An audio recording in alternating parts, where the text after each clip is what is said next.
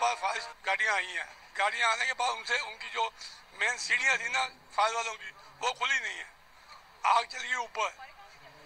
Total इसके अंदर 45 room है। इस होटल में लोग गहरी नींद में सो रहे थे। सोते सोते ही कई लोगों को आग ने अपनी चपेट में ले लिया। इस इमारत से 35 लोगों को बचाया गया लेकिन 17 लोग हमेशा के लिए सो गए। फ़िलहाल खबर दोपहर में इतना ही देखते रहिए तेज खबरें जारी हैं।